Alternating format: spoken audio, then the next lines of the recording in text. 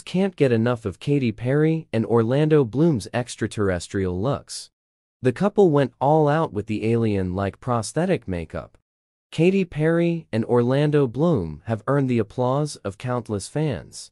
With new photos of the two decked out in extremely extraterrestrial ensembles.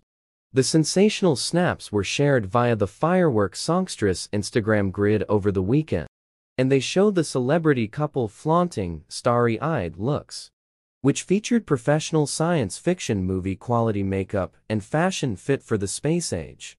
The 39-year-old pop singer and American Idol judge had her glam team create a set of glam antennae that blended perfectly with her purple eyeshadow and a full set of lashes.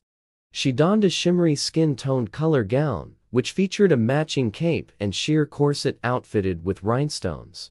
For his part, Bloom rocked an all-black suit, a white button-up shirt, and a silver bolo tie. To make his look a little more out of this world, the 47-year-old actor also took a seat in the makeup chair, letting the pros create elvish ears and bone structure. Spaced out and starry-eyed, Perry simply quipped in her Sunday, January 21, social media upload. Though it's unclear where the duo share, young daughter, Daisy Dove were headed. Fans were undoubtedly here for the spectacular look and of course, hopefully, it could mean a reprise of the pop star's song T, or more music on the way. WHAT is this for? One exclaimed. Another top-liked comment declared, E. T 2.0 is coming. Similarly, a few more admitted that this is so ET coded and that the ET music video is really shaking art. It's happening, things are happening, Fourth hoped.